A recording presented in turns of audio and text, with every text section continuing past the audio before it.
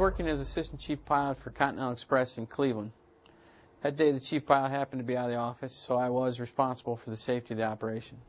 One of our Beech 1900 pilots came in the office and reported to me that on approach, his aircraft was acting extremely sluggish and in fact took 20% more power to maintain VREF that day. We went out and took a look at the aircraft. It was covered in ice, about an inch and a half to two inches ice all over the airplane. The boots were clean, but behind the boots was just solid ice. So I went in the office, we took a look at the METAR, the TAF, pilot reports. There were no indications of ice in Cleveland for the day, or at that time. So we gave dispatch a call. Of course, looking at the same reports we were looking at, there was no reason that departures couldn't leave as scheduled. However, I made the very difficult decision to delay the flights until the weather improved. It was difficult because that's extremely expensive for an airline to delay or cancel flights. But I believe I made the right decision for the safety of the operation. And in fact, that later that day, we found out there was a fatal aircraft crash within 100 miles of Cleveland, and that crash was due to icing.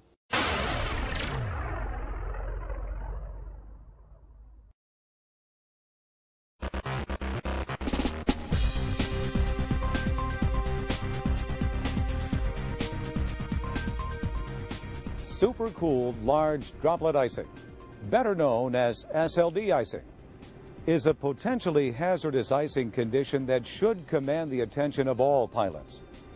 Examples of SLD conditions at the surface are freezing rain and freezing drizzle. But it is possible for SLD to exist only at altitude and not reach the surface. SLD can appear in cloud as well as below. Typical icing events involve supercooled water droplets. But the large droplets of SLD can be 10 to 100 times larger in diameter. These larger droplets can impact a much greater portion of your aircraft, including aft of the protected regions. Flight in SLD conditions can quickly lead to severe icing. This video will present the latest SLD icing information for pilots of all aircraft types. It should be used to supplement your company's procedures and regulatory requirements. Our goals are to enhance your awareness of SLD conditions and help you make better decisions.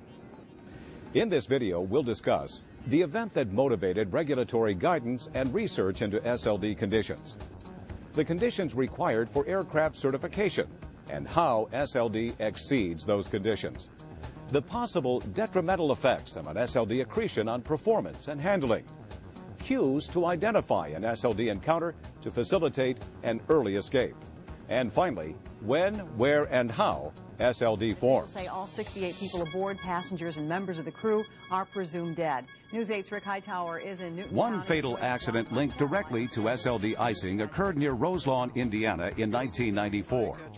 An ATR-72 was holding at 10,000 feet with all ice protection systems activated, flaps deployed, and autopilot on.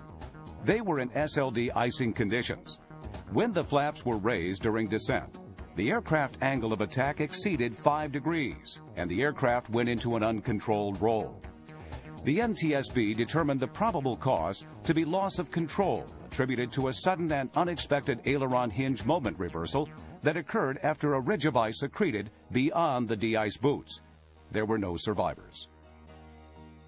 Following this accident, the FAA issued airworthiness directives against many turboprop aircraft with the warning that severe icing may result from environmental conditions outside of those for which the airplane is certificated.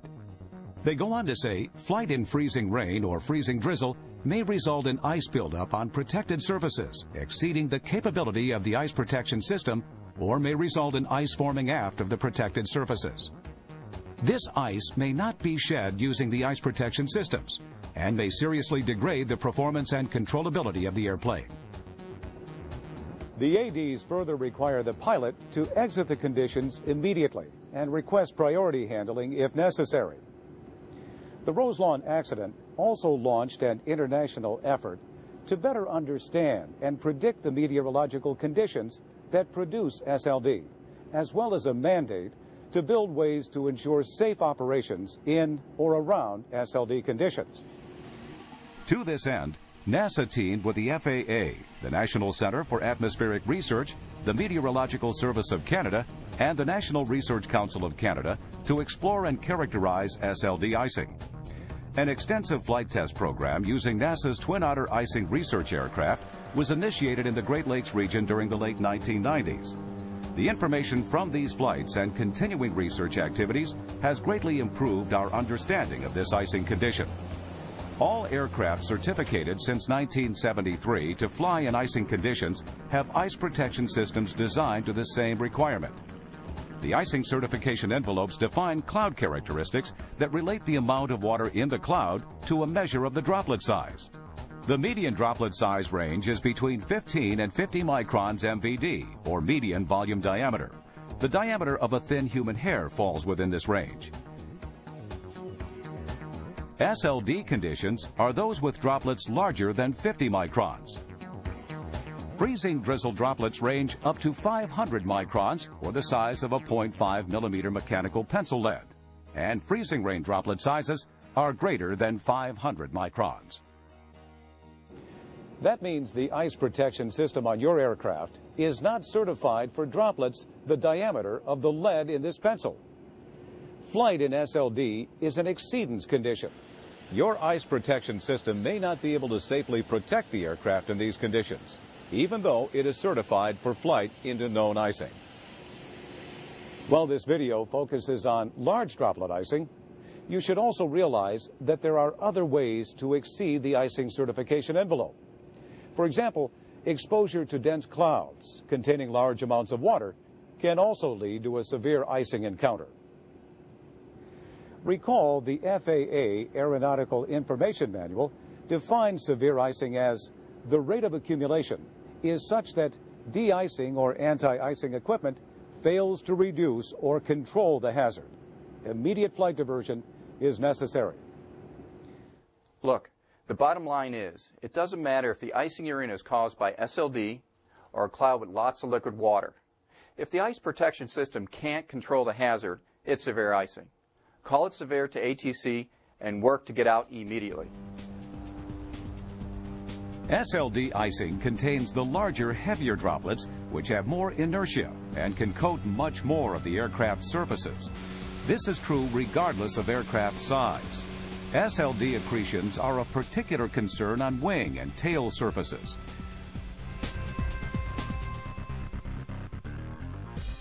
Unlike the smaller cloud-sized droplets that strike within the protected regions, larger droplets can impact from the leading edge to well aft of the ice-protected regions. While the de-icing or anti-icing protection systems will clear these areas, the ice that is formed aft will remain. This can form a ridge at or aft of the protected non-protected junction. This change in the shape of the flight surface may not be immediately dangerous, but could become so during configuration changes or when enhanced performance is required, such as approach and landing, a missed approach, or an emergency situation. This is why SLD icing can be substantially more hazardous than normal icing. The research efforts and regulatory guidance into SLD conditions have focused on turboprop rather than jet aircrafts. Jets typically do have advantages in icing conditions, with larger airfoils, higher climb rates, excess thrust, power-assisted controls, and anti-icing systems. However, the jet pilot should not feel immune in an SLD encounter. One potential disadvantage is the lack of visual and tactile cues. Without a reliable means to monitor for SLD, you could be exposed for a longer period of time. This can lead to a ridge or other significant SLD accretions. It really doesn't matter what kind of aircraft you're flying, turboprop, regional, corporate jet, or big iron. When you're in SLD, you have no idea how well the ice protection system is performing. In most cases, you're probably accreting ice after the protected area. You don't know what effect the resulting ice accretion will have on aircraft performance and handling. Most importantly, handling. The best defense is to avoid it if possible, or if you get in it, detect it early and get out.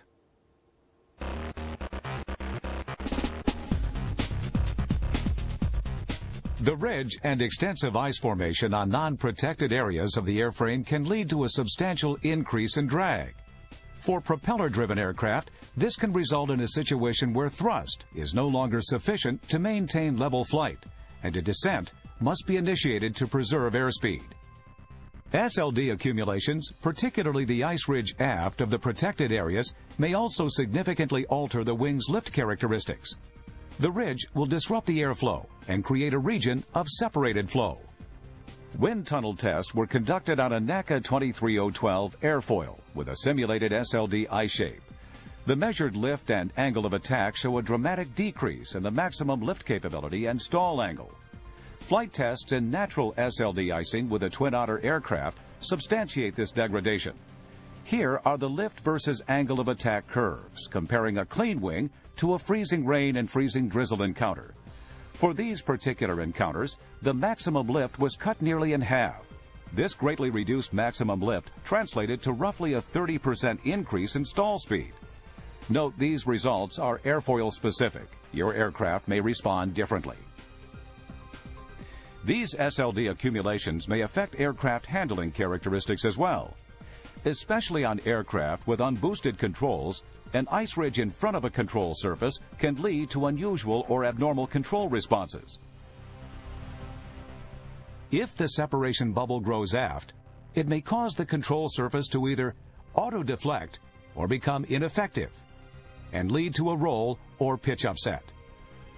Cues to an impending wing stall or upset include airframe buffet, unusual roll control response, or uncommanded roll or pitch motions. Should any of these cues occur, reduce the angle of attack of the wing. This can be done by pushing forward on the yoke and adding power.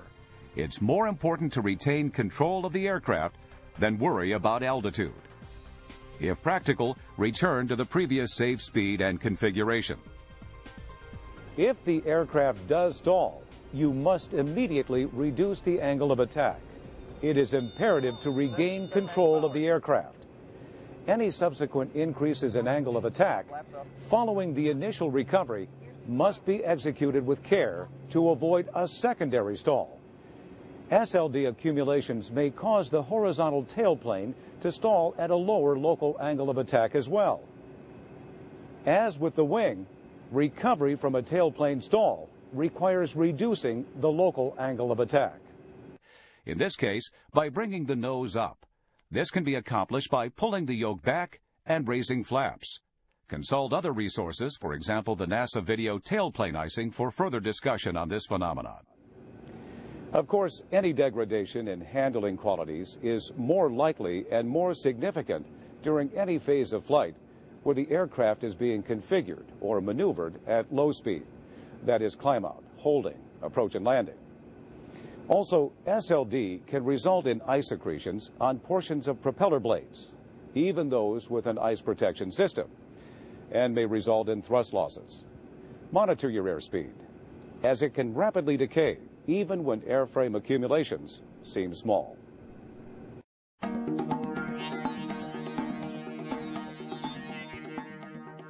The sooner you detect you're in SLD conditions, the sooner you can act to escape. The extensive ice accumulation typical of large droplets may be helpful in visually detecting an SLD encounter. A generic cue cited in the ADs is unusually extensive ice accreted on the airframe in areas not normally observed to collect ice. As common visual cues are identified next, it should be noted that some of these may not be available in your aircraft. On some aircraft, the most immediate and obvious visual cue of SLD is ice forming on unheated or unprotected cockpit side window panels. Another visual cue is a ridge of ice on the wing at the protected unprotected junction or ice aft of the protection system. Of course, a normal icing encounter would accrete entirely within the protected region. Photographs of NASA's icing research airplane show how ice can form beyond the areas protected by the pneumatic de-icing boots. Icing tanker tests of the ATR-72 conducted shortly after the Roselawn accident also illustrate this ridge. After testing, the ATR-72 was modified with a larger de-icer boot that provided more chord-wise protection. Aircraft with heated leading edges may also experience ridge formation aft of the heated areas. Here are images from a research test in NASA Glenn's icing research tunnel. A thermal heat system at flight conditions was tested in an SLD environment. Note the ridge beyond the protected region. On turboprop aircraft, propeller spinners are another area to monitor. Compare the SLD versus normal icing accretions. Note how much further aft the ice appears in the SLD case. Other visual cues of SLD may also include unusual or more extensive ice formations than normal on windshield wipers, control horns, nacelles, winglets, or on smaller aircraft, wing struts. Finally, visible rain or droplets that splash or splatter on impact below 0 degrees C ambient air temperature are also signs of large droplet icing. If these visual cues are not available, you'll need to be especially vigilant to tactile and instrument cues that indicate any hazardous ice accretion. Such cues might include airspeed loss, unusual trim motion or position, higher than normal power settings, non-responsive controls, or unusual feedback in the controls. These cues will be more difficult to detect with the autopilot on, so periodically hand fly the aircraft to confirm normal handling characteristics in any icing encounter. Also realize that any ice-related system, such as an ice detector or a stall warning system, designed to account for ice accretion was certified to and probably designed only for the icing certification envelope. Such systems may not perform their intended function in SLD conditions. Some airplane flight manuals give very specific information about SLD cues and limitations. Familiarize yourself with any limitations or information contained in the AFM about icing and in particular about SLD. If you are in flight and confirm or suspect SLD conditions, carefully monitor the ice protection systems. If they are unable to remove the hazardous ice accumulations, you are in severe icing. You must exit the condition immediately. An altitude change of 2 to 3,000 feet most likely will take you out of the SLD environment, even if you remain in the cloud. The safe altitudes, of course, are dry air or where temperatures are above freezing. Report the hazardous conditions and request priority handling to exit the icing if necessary. Unless you can conclusively confirm that all the ice is shed, sublimated, or melted away, you should assume that the airframe will continue to have ice aft of the protected areas for the remainder of the flight. Make every effort to avoid a subsequent icing encounter of any kind. Since SLD ice shapes have formed on the aircraft surfaces, this contamination can catch smaller droplets that a clean surface wouldn't. The ice shape will continue to grow in size and potential hazard. With ice on your wings, your angle of attack becomes very important. Of course, the safest flight condition is to remain at a low angle of attack or in cruise. If it becomes necessary to increase your angle of attack with the SLD accretion, for example, holding, approach, or landing, follow your AFM for these procedures and icing conditions. The holding guidelines may limit flap deflection, and the approach and landing may call for an increase in airspeed. Increasing AOA with an SLD ice shape can become hazardous to the point of a control anomaly. When and where can you expect to find SLD? This map depicts the potential of encountering SLD conditions in North America in the winter. It is based on surface observations and balloon soundings gathered over a 14-year period and analyzed by NCAR. While the SLD potential shifts predictably in latitude and altitude throughout the year, there are consistent regions where you are more likely to find SLD. These are in the Pacific Northwest, and in a wide swath from the southern high plains through the Great Lakes region into the Canadian Maritimes. While this map shows the hot spots for SLD, it is the local atmospheric conditions that determine whether or not you'll have an SLD encounter. This study also found that for the most part, SLD conditions were less than 3,000 feet deep, whether they were at the surface or at altitude. Furthermore, SLD was found mostly below 12,000 feet. Finally, understanding how SLD develops in the atmosphere may assist you in developing your avoidance and exit strategies. There are two SLD formation mechanisms, temperature inversion and collision coalescence. Temperature inversions are typically associated with warm and stationary fronts. Ahead of these fronts, snow falls into above freezing air and melts, forming liquid precipitation. The liquid precipitation continues to fall into freezing temperatures below, forming freezing rain and, occasionally, freezing drizzle. In some cases, the rain or drizzle freezes to form ice pellets that fall to the surface. In this case, the greatest potential for encountering SLD is from the bottom of the above freezing layer all the way to the surface. Research indicates this layer is generally less than 3,000 feet deep, but it has been observed up to 7,000 feet deep. Pilots are more likely, however, to encounter SLD formed by collision coalescence, this process, recently recognized as an aviation hazard, occurs when droplets collide within a cloud and coalesce into larger droplets. Research has shown that SLD clouds of this type are usually relatively warm, low-altitude clouds. Look for cloud top heights below 12,000 feet and cloud top temperatures warmer than about minus 12 degrees C. In this case, the SLD layer is usually less than 3,000 feet deep. Be aware, however, that this type of SLD can occur above 12,000 feet. Regardless of how the SLD is formed, exit strategies may require larger altitude changes. While SIGMETs identify areas of potential severe icing, there are tools that better pinpoint areas and altitudes where SLD may form. These tools are available on the internet from the Aviation Weather Center. One is at the Aviation Digital Data Service. On the icing page, you can check the SLD potential in addition to the icing potential at various altitudes. At the same time, you can check for airmets, sigmets, and icing PIREPs. You can also select the flight path tool and check for icing along your intended route. Convenient altitude displays of the same SLD and icing potential data are also available.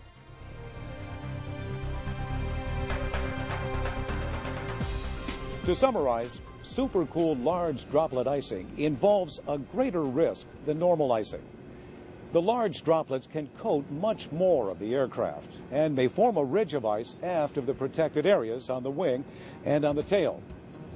These SLD accumulations may dramatically reduce aircraft performance and alter the handling characteristics. If you encounter SLD conditions in flight, early detection and exit will help minimize the risk. Know where to look on your aircraft to quickly detect SLD accretions. If visual cues are not available, carefully monitor your instruments and the handling of the aircraft. If a speed or configuration change results in an unexpected or abnormal aircraft response, return to the previous safe configuration and speed. When the aircraft is stabilized, you can assess your options and decide on the safest course of action. To exit SLD conditions during cruise, an altitude change of 2 to 3,000 feet will probably be sufficient. But realize that extra caution is warranted during holding, approach and landing, and if attempted, takeoff and climb. You are most vulnerable to SLD accretions during these phases of flight because you're asking for a lot of performance from the wing when you're low, slow, and configuring.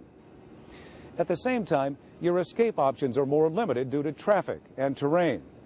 You'll need to assess the environmental situation and the current capabilities of your aircraft to determine the optimal path to safety.